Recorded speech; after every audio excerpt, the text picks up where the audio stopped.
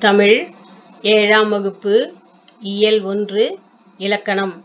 குற்றியலுகரம் குற்றியலிகரம் இப்போ ஆஹ் இதற்கு முன்ன வந்து நாம ஆறாம் வகுப்புல முதல் எழுத்து சார்பெழுத்துன்னு படிச்சிருக்கோம் இல்லையா? முதல் எழுத்துனா என்னது? உயிரெழுத்து பனிரெண்டும் மெய்யெழுத்து பனிரெண்டும் பதினெட்டும் சேர்த்து முதல் எழுத்துன்னு படிச்சிருக்கோம். அடுத்தது சார்பெழுத்துக்கள் பத்து படிச்சிருக்கோம் இல்லையா? உ- அந்த பத்து எழுத்துக்கள்ல ஒன்று குற்றியலுகரம் அதை பத்தி தான் நம்ம இப்போ படிக்க போறோம். ஒரு சொல்லின் இறுதியில் வரும் வல்லின மெய்யோடு சேர்ந்த உகரமானது. வல்லின மெய்யோடுனா அந்த வல்லின வல்லின எழுத்து என்னது? கசட தபர. இங்க கொடுத்துருக்க பாருங்க கசட தபர. அதோட அந்த வல்லின எழுத்தோட உகரம் சேர்ந்து குசுடு துபுரு. அது பிராக்கெட்ல கொடுத்துருக்கோம் பாரு. குசுடு துபுரு இருக்கு. தனக்குரிய ஒரு மாத்திரையில் இருந்து குறைந்து அரை மாத்திரையாக ஒலிக்கும். இதுவே குற்றியல் உகரம். தனக்குரிய ஒரு மாத்திரை என்னது குறியில் எழுத்து ஒரு மாத்திரைன்னு நம்ம படிச்சிருக்கோம். நெடில் எழுத்து இரண்டு மாத்திரைன்னு படிச்சிருக்கோம். மெய் எழுத்து அரை மாத்திரை ஆயுத எழுத்து அரை மாத்திரைன்னு படிச்சிருக்கோம். இப்போ ஒரு சொல்லினுடைய இறுதியில் வரக்கூடிய வல்லின எழுத்து அதோடு வல்லின மெய்யோடு சேர்ந்த உகரம் அதோட உகர எழுத்து சேர்ந்து தனக்குரிய ஒரு மாத்திரையிலிருந்து உகரத்தை குறியில் எடுத்துக்கத்தன ஒரு மாத்திரை. அது அந்த ஒரு மாத்திரையிலிருந்து குறைந்து அரை மாத்திரையாக ஒலிப்பது அதாவது அதனுடைய அளவு.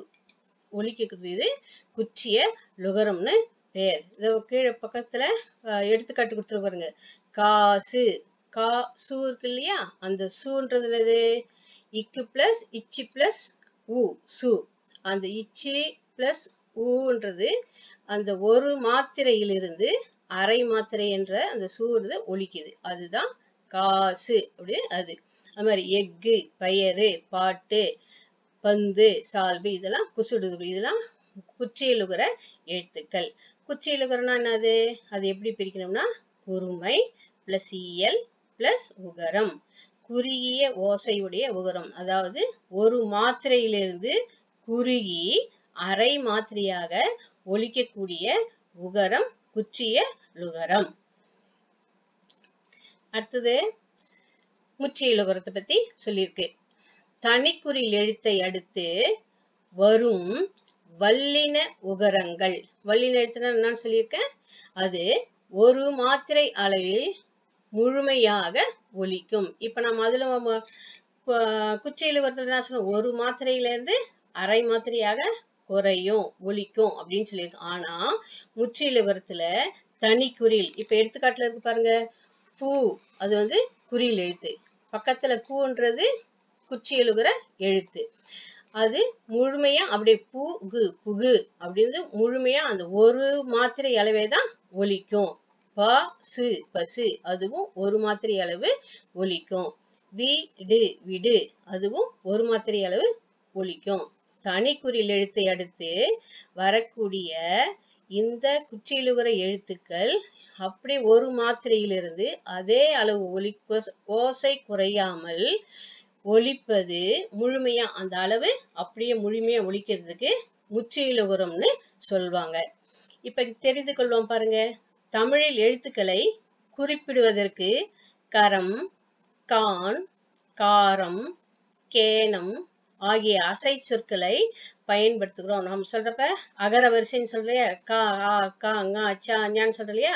அது அகர வரிசைன்னு சொல்லணும் ஆ அதான்? ஆகார வரிசை. ஆ கா ங்கா அப்படின்னு. ஐ வரிசை சொல்றப்ப ஐ கான் இருக்கு இல்லையா? ஐ கை ngை அது சொல்றது இல்லையா? அது. அது மாதிரி ஒவ்வொரு இதுக்கும் அசை சொற்களுக்கு இது மாதிரி வார்த்தைகளை பயன் தமிழ் எழுத்துக்களை குறிப்பிடுவது வழக்கம். அதுல குறியில் எழுத்துக்களை குறிப்பது வந்து கரம் அகர வரிசை இகர வரிசை உகர வரிசை ககர வரிசை அப்படின்னு சொல்றோம் இல்லையா அகர எழுத்து ககர எழுத்து மகர எழுத்து அப்படின்னு சொல்லுவாங்க. நெடில் எழுத்துக்களை குறிக்க கான் அது ஐ கான் அவு கான் அது மாதிரி அந்த எழுத்துக்களை சொல்றது. குறில் நெடில் எழுத்துக்களை குறிக்க காரம் மகாரம் ஏகாரம் ஐகாரம் ஔகாரம் அப்படின்னு சொல்லக்கூடிய எழுத்துக்களை குறிக்கக்கூடிய அசை சொற்களை பயன்படுத்துகிறோம் ஆயுத எழுத்துக்கு வந்து கேனம் அக்கேனம் அப்படின்றது ஆயுத எழுத்துக்களுக்கு நாம் சொற்க சொல்லக்கூடிய அசை சொற்கள். அடுத்தது குற்றியலுகரம் என்னன்னு பார்த்தோம். முற்றியலுகரம்னா என்னன்னு பார்த்தோம். இப்போ அதனுடைய வகைகள். அதுல நன்னூல்ல வந்து குறிப்பிட்டிருக்காங்க பார். குற்றியலுகரம்னா என்னன்னு. நெடிலொடு ஆயுதம் உயிர் வலி மெலி இடை தொடர்மொழி இறுதி வன்மையுகரம் அக்கும் பிறமேற்றொடரவும் பெருமே அதனுடைய வகைகள் சொல்ல நெடில் நெடித்தொடர் குற்றியலுகரம் தொடர் உயிர் தொடர் வலு வன் தொடர் வெண் தொடர் இடைத்தொடர் இருக்கு இல்லையா? அதனுடைய வகைகள் சொல்றாங்க. இதுல என்ன இருக்குன்றத இந்த நூற்பால சொல்லியிருக்கு. குற்றியலுகரத்தின் வகைகள். நெடிர் குற்றியலுகரத்தின் வகைகள் வந்து ஆறு. ஒன்று நெடிர்த்தொடர் குற்றியலுகரம் ஆயுதத்தொடர் குற்றியலுகரம் உயிர்த்தொடர் குற்றியலுகரம் வன்தொடர் குற்றியலுகரம் மென்தொடர் குற்றியலுகரும் இடைத்தொடர் குற்றியலுகரம். குற்றியலுகரத்தின் வகை ஆறு. அடுத்தது நெடித்தொடர் குற்றியலுகரம். அதுல வகை சொன்னோம் இல்லையா? அதுல முதல்ல. நெடில்னா நெடில் எழுத்துக்கள் இல்லையா? இதில் நெடில் எழுத்துக்களை அடுத்து உகரம் வரும். எளிமையா நீங்க மனசுல பதிச்சுக்கலாம். நெடில் எழுத்து. நெடில் எழுத்து பக்கத்துல உகர எழுத்து. உகர எழுத்து என்னன்னு படிச்சீங்க குச்சியில் உகர எழுத்துக்கெல்லாம் குசுடுதுபுரம் துபுரன்னு இல்லையா? அந்த குசுடுதுபுரி எழுத்து அந்த நெடில் எழுத்துக்கு பக்கத்துல வந்ததுன்னா அந்த உகரம் நெடித்தொட குச்சிய லுகரம். இதுல பாருங்க நா என்றது நெடில் எழுத்து. அது பக்கத்துல கூ இருக்கு பேர். நாகு அந்த கூன்றது குச்சியிலுகிற எழுத்து. கா மா அது மாதிரி பே ரா இதுக்கு பக்கத்துலலாம் உகர எழுத்து அடுத்தது வருது. இது நெடித்தொட குற்றியலுகரத்துடைய எடுத்துக்காட்டு. இதுல மாடு பிளஸ் அல்ல. இந்த மாடுன்றது நம்ம பிரிக்கிறோம் இல்லையா வார்த்தைகளை? இவங்களுக்கு பிரித்து தெரியும். அதுல முதல்ல பிரித்து ஒரு வார்த்தை இருக்கும் பிளஸ் அடுத்த வார்த்தை இருக்கும். அந்த முதல்ல இருக்கக்கூடிய வார்த்தைக்கு நிலைமொழின்னு பேரு. அது நிலைமொழி. அடுத்தது பிளஸ்க்கு அடுத்தது இருக்கு இல்லையா? அதுக்கு வருமொழின்னு பேரு. மாடு பிளஸ் அல்ல. மாடல்ல. இதுல வந்து மா வந்து எப்படி பிரிக்க முடியும்? இம்மு பிளஸ் ஆ. நம்ம வாய்ப்பாடு படிச்சிருக்கோம் இல்லையா? மா. இப்ப டூ வந்து எப்படி பிரிக்கிறது? இட்டு பிளஸ் உ டூ இப்போ மாடுன்றத இம்மு பிளஸ் ஆ இட்டு பிளஸ் உ அது மாடு. அப்படி இல்லையா? பிளஸ் அல்ல. ஆ இல் அல்ல. இத வந்து இந்த நிலைமொழியில வந்து உகரம் இந்த மாடுன்ற இட்டு பிளஸ் இருக்கு இல்லையா? அந்த உகரம். அது திரிந்து திரிந்துனா மாறுறது எழுத்து மாறுறது. மாறி அது என்னன்னு மாறி இருக்கு? டானு மாறி டூ பிளஸ் ஆன்றது டானு மாறிக்கு நிலமொழியில உகரம் திரிந்து மாடல்ல மாடு பிளஸ் அல்லன்றது மாடல்லன்னு மாறி இருக்கு. நெடில் எழுத்துக்களை அடுத்து உகரம் வர்றதுனால இது நெடிர்தொடர் குற்றிய லுகரம். அடுத்தது ஆயுதத்தொடர் குற்றிய லுகரம். இது ஆயுத எழுத்தை அடுத்து உகரம் ஆகும். இது ஆயுத எழுத்துக்கு அடுத்தது வருது இல்லையா? அந்த உகரம் குற்றிய தொடர் குற்றிய லுகரம். அஃது இஃது எஃது எஃகு போன்ற சொற்கள் வரும். எல்லா எழுத்துக்கு ஆயுத எழுத்து அவ்வளவுதான் இருக்கு இல்லையா? அது. இவற்றோடு வருமொழி முதலில் உயிரெழுத்து வரும்போது குற்றியலுகரம் உண்டாகும். இது வருமொழி. வருமொழின்னு என்ன சொல்றோம்? கூட்டலுக்கு அடுத்து வருது. முதல்ல இருக்கிறது நிலைமொழி அடுத்தது வர்றது வருமொழி. அந்த வருமொழியில அக்து பிளஸ் இல்லைன்னு இருக்கு பாருங்க உதாரணத்துக்கு. அக்து பிளஸ் இல்லை. அந்த ஈன்றது என்னது? உயிரெழுத்து. அக்து பிளஸ் இல்லைன்றது இங்க நிலைமொழியில் இருக்கக்கூடிய அக்கு என்ற ஆயுத எழுத்தை அடுத்து தூ என்ற குற்றியலுகர எழுத்து உகரம் இருக்கு. அது வந்ததுனால வருமொழியில் ஈ இந்த இல்லைன்னு இருக்கு இல்லையா?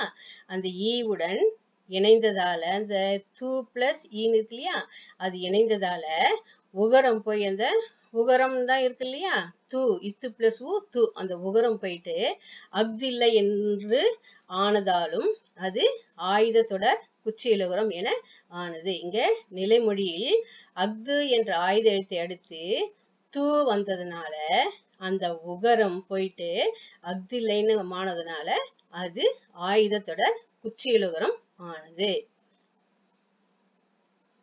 அடுத்தது உயிர்த்தொடர் குற்றிய லுகரம் இதில் உயிர் எழுத்துக்களை அடுத்து உகரம் வரும். என்ன பா- பார்த்தோம் இல்லையா? அதே மாதிரி தான் நெடில் எழுத்து வர்றது ஆயுத எழுத்து வர்றது அதே மாதிரி உயிர் எழுத்து தொடர்ந்து வரக்கூடிய வரக்கூடிய குற்றியலுகரம் விறகு. இதுல இருந்து உயிரெழுத்து இல்லையே நீங்க கேட்கக்கூடாது வீரகு விறகு இதுல உயிரெழுத்து இல்லையே. உயிரெழுத்து பன்னிரெண்டு ஆ இ ஊ இருக்கு இல்லையா? அப்படி இருக்காது வி ரகு இந்த ரா இருக்கு இல்லையா? ரா எப்படி பிரிப்போம்? இரு பிளஸ் ஆ ரா. அந்த இரு பிளஸ் ஆன்றது ஆ அது வந்து உயிரெழுத்து. உயிரெழுத்துக்கு அடுத்தது கூ வருது. அந்த உகரை எழுத்து வருது. அது மாதிரி அடுத்தது பாருங்க. அரசு. ஆ ரா. அந்த ரா எப்படி பிரிக்கணும்? இரு பிளஸ் ஆ ரா. இது மாதிரி பிரிக்கிறப்போ உகர எழுத்து வருது. குரடு. இரு பிளஸ் இரு பிளஸ் ஆ ரா. அரிது மரபு எல்லாமே அது மாதிரி எழுத்துக்கள். அது பிரிக்கிறப்போ உயிரெழுத்து வரும். அந்த உயிரெழுத்து அடுத்து என்ன வருது? உகரம் வருது. அரசு அரசு பிளஸ் ஆட்சி அரசாட்சி. இதுல நிலைமொழியின் ஈற்றையல் எழுத்து அதான் கடைசி எழுத்து. இரு பிளஸ் ஆ என்பதில் ஆ என்னும் உயிரெழுத்தை அடுத்து சு என்ற உகரம் வந்ததால் உயிர் தொடர் உகரம் ஆயிற்று. அந்த அரசுன்றது எப்படி பிரிச்சோம்? ஆ இரு பிளஸ் ஆ சு இல்லையா? அந்த ஆக்கு பக்கத்துல அந்த என்ன எழுத்து வருது? சு வருது. அப்ப அந்த ஆ என்னும் உயிர் எழுத்துக்கு அடுத்து சு என்ற உகரம் வந்ததுனால அது உயிர் தொடர் உகரம் ஆயிற்று. இது ஆட்சி என்னும் வருமொழியின் முதல் எழுத்த ஆவுடன் இணைந்து ஆட்சி ஆன்னு இருக்கு இல்லையா முதல் எழுத்து அதனோட இணைந்து நிலைமொழியினுடைய உகரம். இப்போ சு வந்து உகர எழுத்துன்னு படிச்சோம் இல்லையா? அது உகரத்தோடு அது திரிந்தது மாறி போச்சு. அந்த சுவோட பிளஸ் ஆவும் சேர்ந்து மாறி அரசாட்சி என்று புணர்ந்ததால அது புதுசா வேற ஒரு எழுத்து உருவாகுது. அது புணர்தல் பேரு. அதுக்கு உயிர் தொடர் குச்சியலுகரன்னு பெயர். அடுத்தது வன் தொடர் குச்சியலுகரம் வன் தொடர்னா என்னது? வன்னா வல்லின எழுத்துக்கள். வல்லின எழுத்துக்களை அடுத்து உகரம் வரும். இந்த வல்லின எழுத்துக்கு அடுத்து உகரம் வந்ததுன்னா அது வன் தொடர் குற்றிய லுகரம் எடுத்துக்காட்டு கொடுத்தாங்க அவர் சுக்கு அச்சு பட்டு கழுத்து உப்பு கசப்பு இதெல்லாம் இதெல்லாம் எடுத்துக்காட்டு. இக்கு காசட தாபர எழுத்துக்கள்லாம் இருக்கு இல்லையா? அதெல்லாம் வல்லின எழுத்துக்கள். எடுத்துக்காட்டு கொடுத்துருக்கு பாரு. பட்டு பிளஸ் ஆடை. பட்டாடை. அதை சேர்த்து எழுதுது பட்டுன்றது நிலைமொழி ஆடைன்றது வருமொழி இங்கே நிலைமொழியின் ஈற்றையல் எழுத்து கடைசி எழுத்து. ஈற்றையல் எழுத்து இட்டு. இட்டு இருக்கு இல்லையாப்பா இட்பட்டு என்ற வல்லின எழுத்தை தொடர்ந்து டூ என்ற உகர எழுத்து வந்ததாலும் பா இட்டு இருக்கு இல்லையா? அந்த இட்டுக்கு பக்கத்துல டூ என்ற ஒவ்வொரு எழுத்து. இட்டு பிளஸ் உ டு அந்த எழுத்து வந்ததுனால அது ஆடை என்ற வருமொழியுடன் இணைந்து ஆடைன்னு முதல் எழுத்து ஆ இருக்கு. அதோட இணைந்து இட்டு பிளஸ் டூன்னு படிக்கிறோம் இல்லையா? அதோட திரிந்து இந்த டூ பிளஸ் ஆ இந்த எழுத்து டாவா மாறி வன் தொடர் குச்சி எழுகிறமா மாறி இருக்கு. அடுத்தது மென்தொடர் குற்றியலுகரம் மெல்லின எழுத்துக்களை அடுத்து உகரம் வரும். மெல் மெல்லின எழுத்துக்கள் என்னது என்ன? நமன மெல்லினம். அந்த மென்தொடர் எழுத்துக்கு அடுத்து வரக்கூடிய உகரம் மென்தொடர் குற்றிய லுகரம். சங்கு பஞ்சு நண்டு பந்து கம்பு கன்று இதெல்லாம் மென் மெல்லின எழுத்துக்கள் இல்லையா? அதுல இருக்கக்கூடியது. சங்கு பிளஸ் ஊதினான். சங்கூதினான் எடுத்துக்காட்டு கொடுத்துறாங்க பாரு. சங்கு அந்த இங்குன்றது என்னது? மெல்லின எழுத்து. அந்த நிலைமழையில சங்குன்ற இங்குக்கு பக்கத்துல உ உகரம் வந்திருக்கு. அதனால இது மென்தொடர் குச்சியலுகரம்னு சொல்றாங்க. அந்த இங்கு என்கிற மெல்லின எழுத்துக்கு அடுத்து கூ என்ற உகரம் வந்ததாலும் வருமொழியுடன் இணைந்து நிலைமொழி உகரம் திரிந்து வருமொழி ஊவுடன் ஊதினான் ஊ இருக்கு இல்லையா? அதோட சேர்ந்து சங்கூதினான் என்று ஆனதாலும் மென்தொடர் குச்சியலுகரம் ஆனது. இந்த சங்குன்றது உகரம். வருமொழியில ஊதினான்ற ஊ இருக்கு எழுத்து இல்லையா? அதோட சேர்ந்து கூ பிளஸ் ஊ கூ அப்படின்னு மாறி இருக்கு. அதனால இது மென் தொடர் குற்றிய லுகரம். அடுத்தது இடைத்தொடர் குற்றியலுகரம் இடை இடையின எழுத்துக்கள் எது? எரள வழல இடையினம். இடையின எழுத்துக்களை அடுத்து உகரம் வரும்போது அது இடைத்தொடர் குற்றிய லுகரம் பெய்து எடுத்துக்காட்டு கொடுத்துறாங்க பாருங்க. பெய்து கொய்து மல்கு புல்கு எல்கு மாழ்கு இதெல்லாம் இடையின எழுத்துக்கள்ல வரக்கூடிய அடுத்து உகரம் இருக்கக்கூடிய எடுத்துக்காட்டு சொற்கள். பெய்து பிளஸ் உடுத்தான். பெய்துடுத்தான். இங்கே நிலைமொழியில் ஈ என்ற இடையின எழுத்தை அடுத்து தூ என்ற உகரம் வந்ததாலும் அது வருமொழி ஊவுடன் இணைந்து நிலைமொழி உகரம் கெட்டு பெய்துடுத்தான் என்று குறுகியதாலும் இடைத்தொடர் குற்றிய லுகரம் பெய்து இது பாருங்க தூ இருக்கு இல்லையா? இந்த இதுங்க வந்து உகரம் இருக்கு. இந்த உகரம் வந்து வறுமொழியில் இருக்கிற ஊ உடுத்தான் இருக்குல்ல? ஊ இருக்கு இல்லையா? இதனோட சேர்ந்து இதுல வந்து இந்த ஊன்றது என்னாச்சு? கெட்டு போச்சுன்னா இல்ல அப்படின்னு அர்த்தம். உகரம் கெட்டு ஊன்ற எடுத்து அங்க போயிடுது. இல்லாத போய் பெய்து உடுத்தான். பெய்து உடுத்தான் என்று குறுகியதாலும் இடைத்தொடர் குற்றியலுகரம் ஆயிற்று. இதனால இது இடைத்தொடர் குற்றியலுகரம் சொல்றாங்க. இது வரைக்கும் குற்றியலுகரம் பார்த்தோம். இப்போ குற்றிய லிகரம்.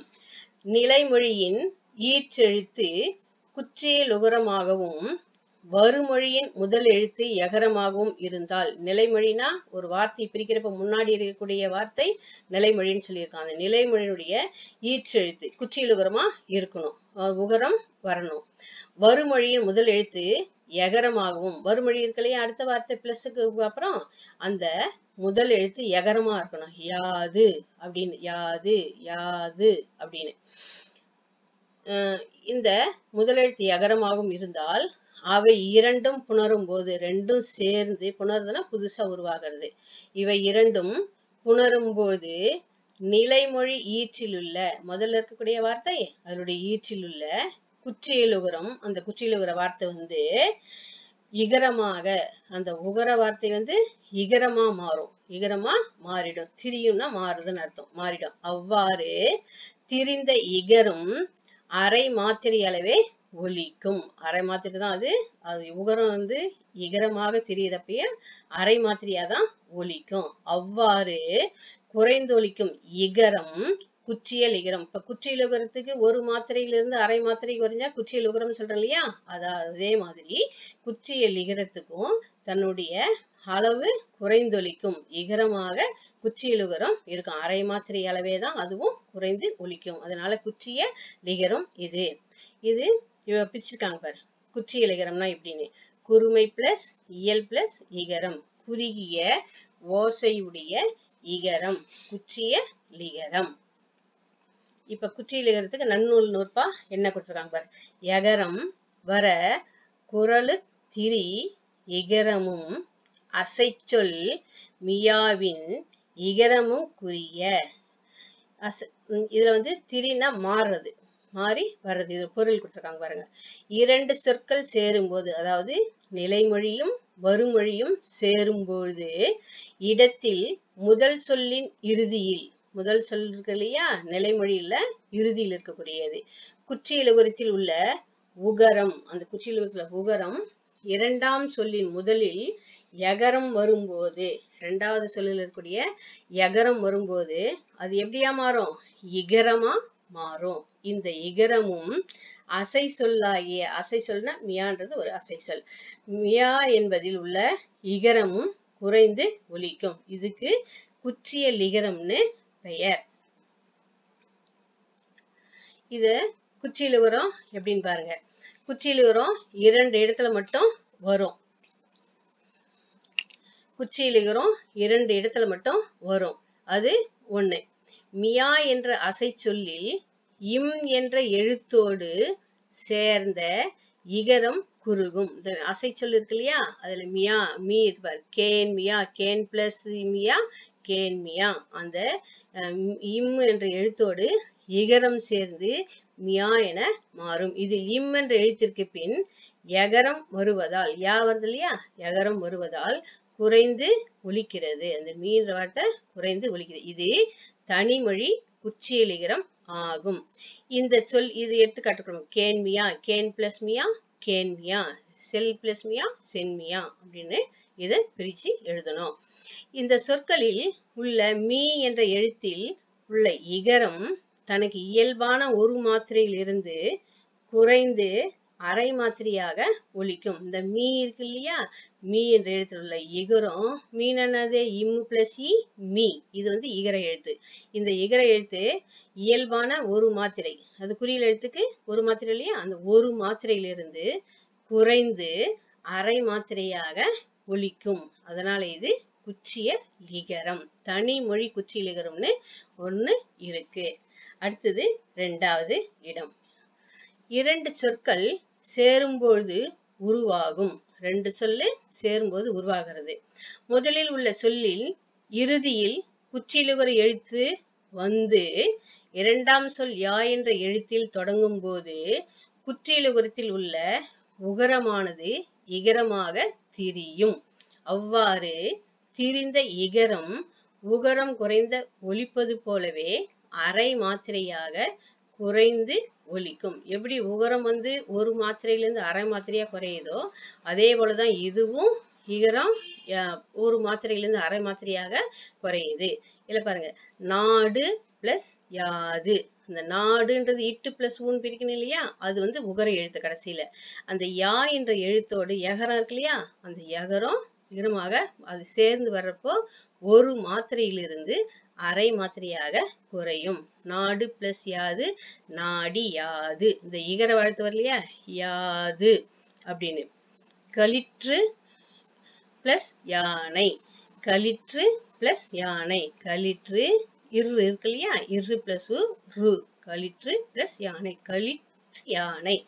அது இருக்கு இரு பிளஸ் இ அந்த எழுத்து இகரமா தெரியுது. அந்த உகரம் இகரமா தெரியுது. ஒரு மாத்திரை அளவிலிருந்து அரை மாத்திரையாக குறைந்து ஒலிக்குது. கொக்கு பிளஸ் யாது. கொக்கி யாது. அந்த கீ இருக்கு பத்தியா இக்கு பிளஸ் இ கி. அது இகரமா தெரியுது. குரங்கு பிளஸ் யாது. குரங்கி யாது. குரங்கு. கூ இருக்குல்லையா இக்கு பிளஸ் ஊன் பிரிக்கிறோம். பிளஸ் யாது. குரங்கி கி. இக்கு பிளஸ் இ கி. அந்த உகரம் இகரமா திரிஞ்சு அரை மாத்திரை அளவா திரியுது குறைஞ்சி ஒழிக்குது திரியதுன்னா மாறுது அரை மாத்திரை அளவா குறைஞ்சி ஒழிக்கிறதுனால அது குச்சிய லிகரம். இந்த குற்றிய லிகரம்னா இரண்டு இடங்களில் மட்டும்தான் வரும். குற்றிய லிகரம் இரண்டு இடங்களில் மட்டும் வரும். வணக்கம்.